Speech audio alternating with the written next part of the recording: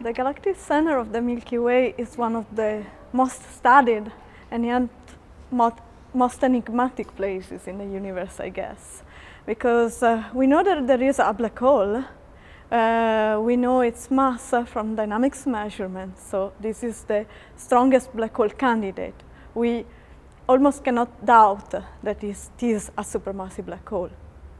And uh, we know there are several hundreds young stars uh, there is a nuclear star cluster of relatively old stars and several other peculiar objects. Uh, what my study is focused on in particular is the fact that they, to make a long story short, the young stars should not be there.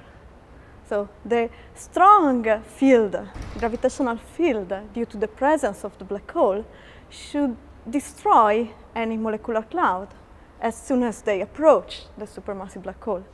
And uh, uh, as an astrophysicist, uh, I think, we think that stars form from molecular cloud. So it was very puzzling to find extremely young stars uh, close to the black hole. Close, I mean uh, less than one parsec. The galactic center is uh, should be a very hostile place for star formation, but we do observe young star very close to the black hole. So uh, I'm sort of ask myself why, why not planets? Uh, understanding whether planets can form close to a supermassive black hole is a very difficult question.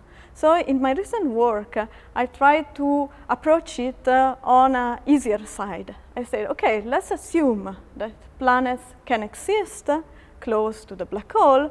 We don't know why, but let's assume they can exist. Then is there any feature from these planets that we can detect? And so uh, with a simple, relatively simple model, I found out that there are some features that can be observed from planet uh, which are currently observable with, with available facilities with 8 meter telescope. And uh, this is the starting point for studying planets in a galactic center. Well, numerical simulations uh, are always useful in astrophysics because uh, most uh, astrophysical processes um, don't uh, occur in a human life. They take much longer. So for example, when I say that there are young stars in the galactic center, I mean 3 million year old. 3 million years means uh, a huge time for humans, more than the time uh, humanity was on Earth.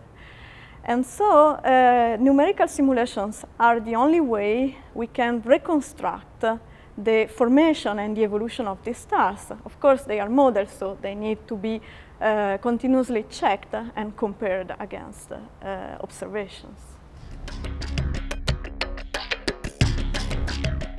Having been awarded the MERAC Prize is an extraordinary experience for me. I, I still cannot uh, believe I got this prize.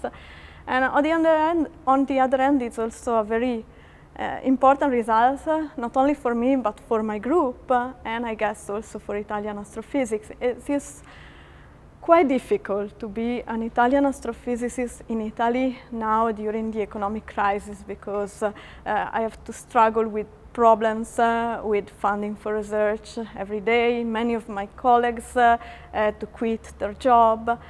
And uh, this prize uh, can give me a strong motivation to fight all this problem and continue with my work with new enthusiasm. And I guess it's uh, a really good start for my, for my career.